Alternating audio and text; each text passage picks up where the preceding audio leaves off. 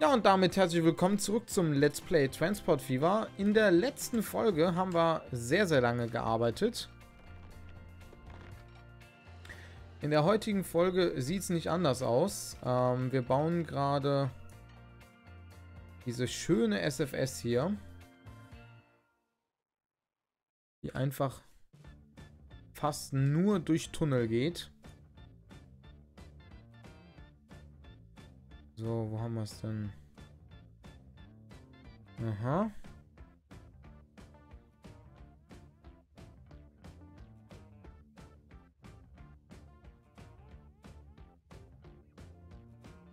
So.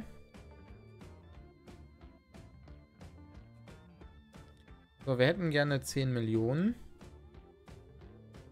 Beziehungsweise 11 Millionen, damit wir es bauen können. Das heißt, wir müssen jetzt erstmal ganz kurz ein Stückchen warten.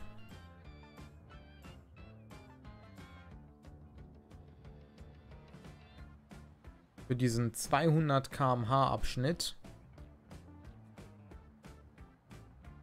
Wird durchaus zwei, drei Monate dauern.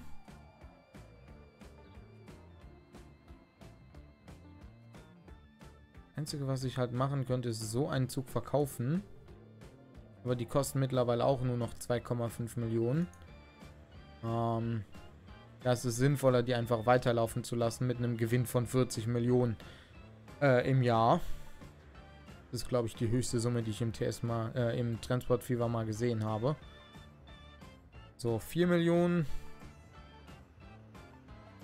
So, der ist auch nur noch auf minus eine Million knapp runter.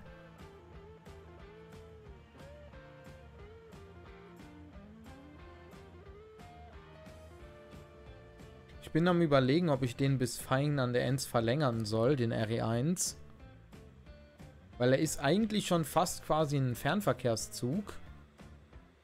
Ich glaube aber, ich werde ihn äh, sogar... Ich weiß nicht, ob ich ihn in Wuppertal kappen will. Dass er nur noch bis Köln fährt.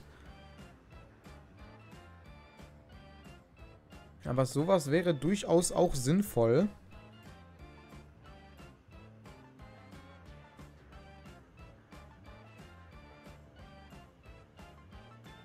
So, 11 Millionen brauchen wir.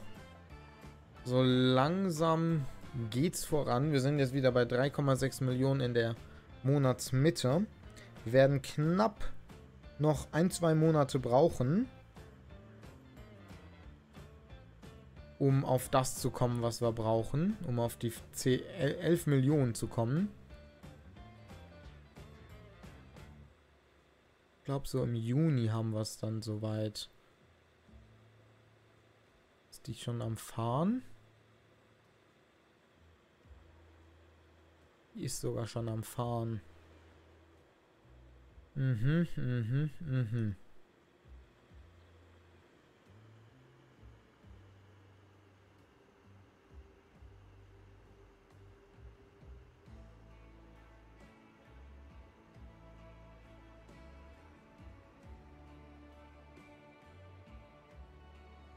So, komm schon. 10 Millionen.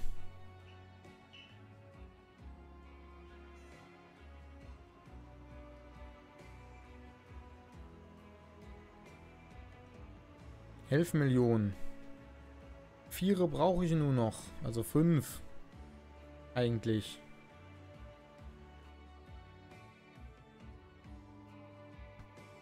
So, komm, wir lassen uns ganz schnell mal ganz schnell laufen. Zwar einfach die 11 Millionen zusammen haben.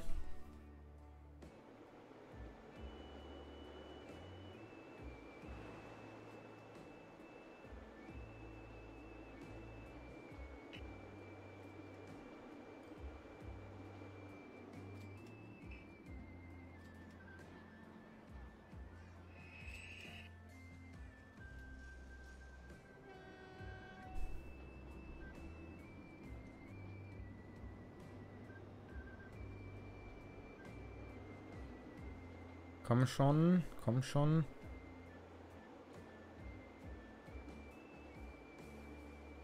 Bis wir in Bremen sind, haben wir die 11 Millionen.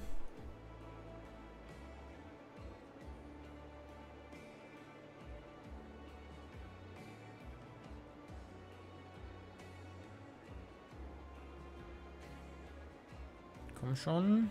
9 Millionen. Nächster Halt ist Köln.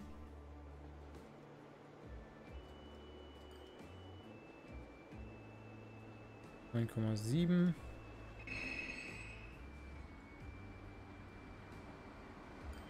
Zehn Komma sieben.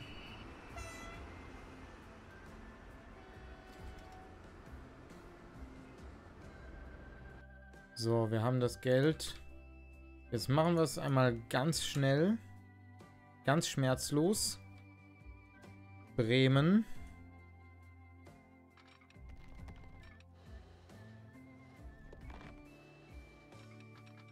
So. Jetzt müssen wir noch alles einmal wieder einstellen. So, dann nehmen wir hier das Viadukt.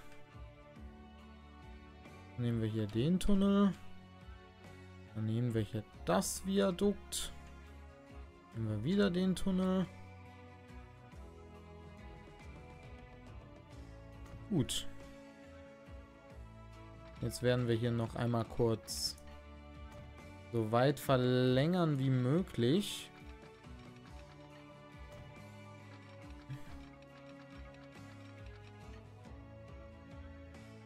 So. 200 km/h weichen. Muss natürlich auch was sein. Damit wir hier ordentlich schnell fahren können, solange wie die Strecke noch eingleisig ist.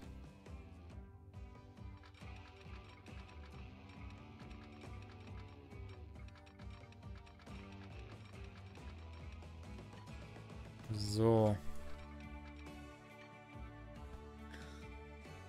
Okay. Dann hier einmal die Signale hin.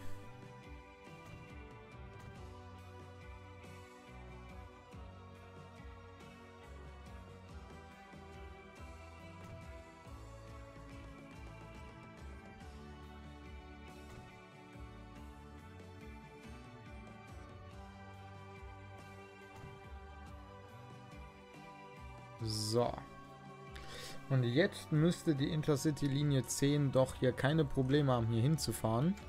Außer, dass Flying Ends noch nicht elektrifiziert ist.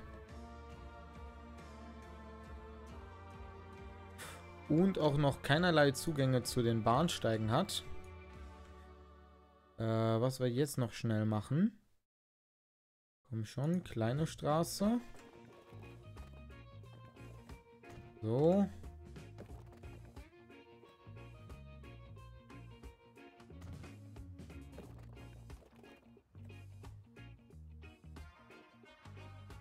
Mhm. So, was hat die IC-Linie 10 denn jetzt noch? Feingen an der Ends.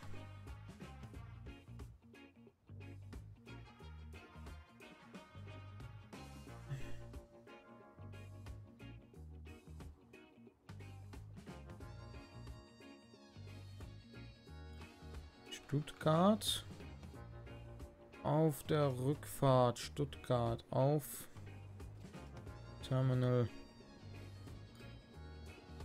5.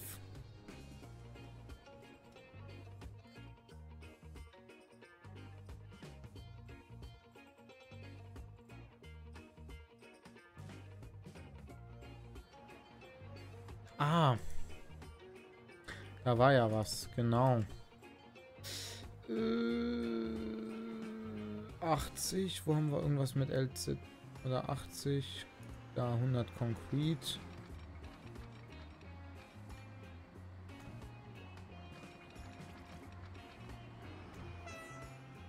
Okay.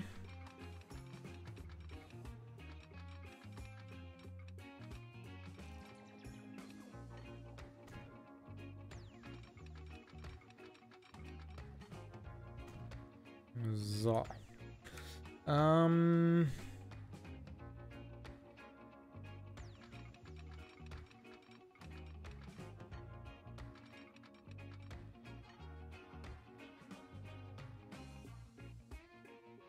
ähm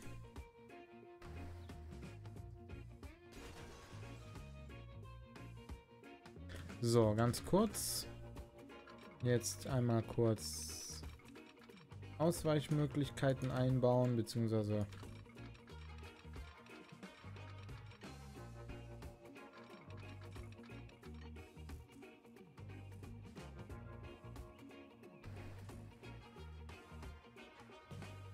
Ähm, Stopp. Und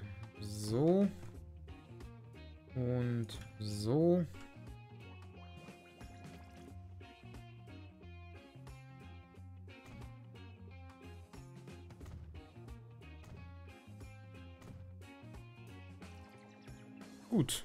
Und jetzt sollte aber alles drin sein für die IC-Linie 10. Ähm...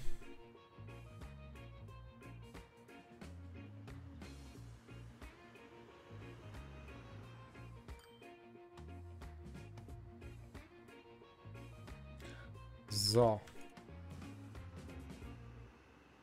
Und jetzt werden wir aber feststellen, dass der Takt dahin gleich viel zu gering ist.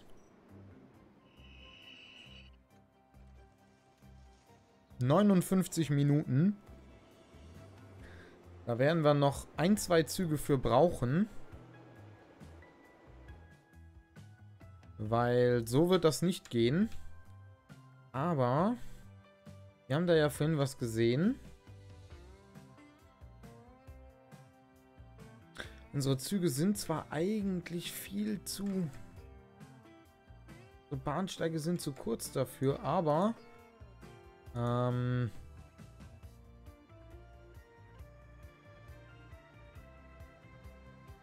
Bestimmte Sachen erfordern halt bestimmte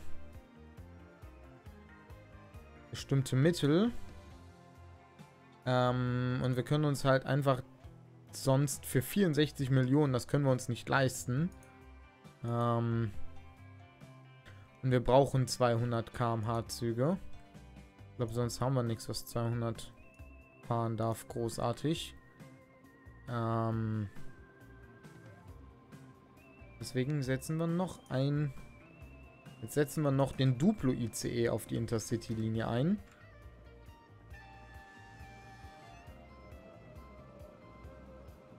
So, und wir sind jetzt im Jahr 2020 mittlerweile. Also wir sind schon in der Zukunft. Ähm... Soweit klappt das gerade, aber trotzdem wieder ganz gut.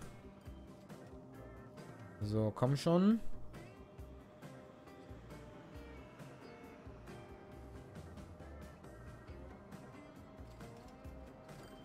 Der wird halt nirgendwo reinpassen. Das kann ich jetzt schon sagen.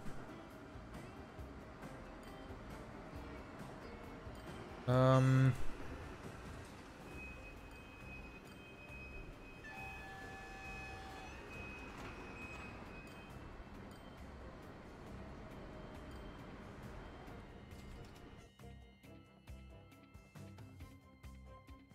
Stuttgart passt. Braunschweig fahren wir ja einfach durch. Mühlacker passt auch. Würselen fahren wir ja auch mittlerweile durch. Brilon genauso. Und Saarbrücken fahren wir auf 2. Perfekt. Damit ist der Takt schon auf 28 Minuten runter. Und der für Betriebskosten nur Uh.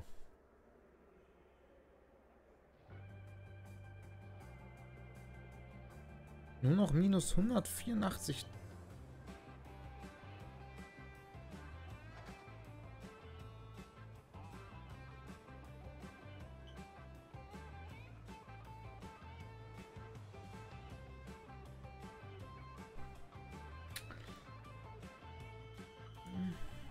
Okay. Dann kommt da noch unser fünfter Zug drauf, damit der Takt dann noch geringer werden wird. Aber äh, wir brauchen auch immer noch unser... Wobei wir... Haben wir mittlerweile Linie 10? Ja doch, genau, Linie...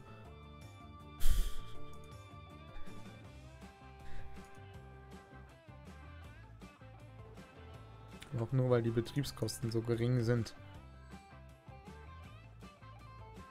Und weil wir den Zug eigentlich verdoppeln müssten.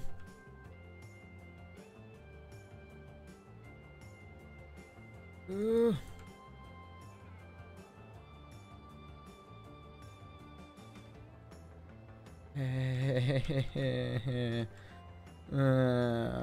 ist... Lohnt sich das doch? Ähm, elektrisch. Jetzt mal gucken, ob wir nochmal an diese kleine Rangierlokomotive mit 120 km/h Geschwindigkeit kommen. Äh... Ja. 3,769. Komm, das kriegen wir doch noch dieses Jahr hin, genau. Ähm, Güter.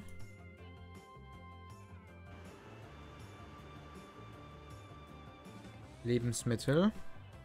Brauchen wir noch fünf Stück von.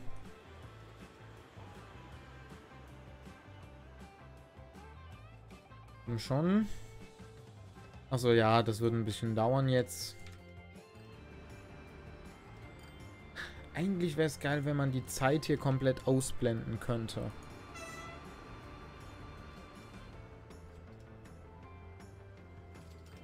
Ich würde halt noch so viel gerne machen. Ich habe halt nur... Ich will halt nicht, dass das jetzt alles irgendwann so verschwindet nach und nach. Ähm, ich würde auch immer noch hier so LKWs langfahren. Wobei... Komm, wir machen mal was, wie die Bahn es auch in Wirklichkeit macht. Vorher machen wir aber noch was. Ja, 31. So, wir kaufen nochmal Güterwagen dazu. Eins, zwei,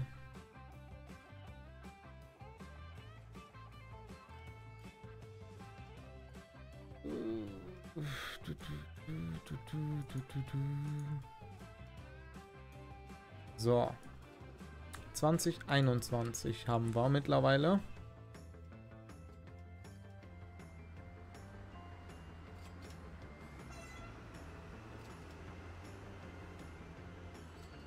Die machen Gewinn. Die machen Gewinn. Glaub's nicht. Intercity-Linie. Gut, die macht jetzt natürlich ordentlich Verlust. Aber halt derzeit, weil keiner damit fahren will. Was wir aber noch ändern werden. So, 965.000 brauchen wir pro Wagen. So, einen konnten wir noch holen. So.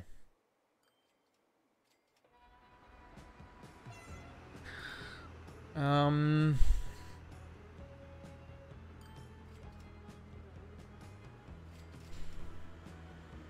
Komm, den schicken wir erstmal mit auf die neuen.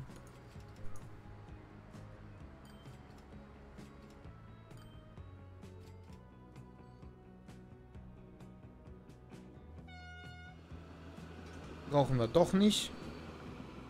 Wir können direkt noch die Wagen dazu kaufen. Eins. So. Zwei. Jetzt auf die 9 mit dir. Und damit haben wir es geschafft, was wir in dieser Folge noch schaffen wollten. Ähm, beziehungsweise ich habe so das geschafft, was ich noch schaffen wollte. Die Linie 9 hat jetzt Verstützung. Da fahren jetzt zwei Züge drauf die knapp 3 Millionen einbringen. Das ist, ich hätte den Güterverkehr doch nicht so schleifen lassen sollen. Aber auch nur, weil die, die das immer wieder reinfahren, oder?